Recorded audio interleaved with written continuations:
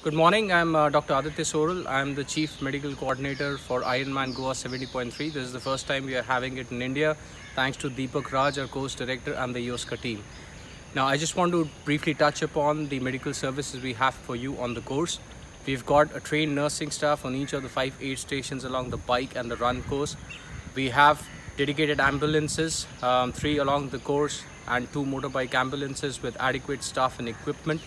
So any athlete who's participating in Ironman Goa tomorrow, you guys are pretty much packed up very well. Don't worry about it. Have a nice race. It's going to be a fantastic day tomorrow. Just make sure you're hydrating yourself well. Um, keep your electrolytes up. It's a little humid. It's a little hot. If you take care of those things, I'm sure you're going to fare very well and you're going to sail through the finish line.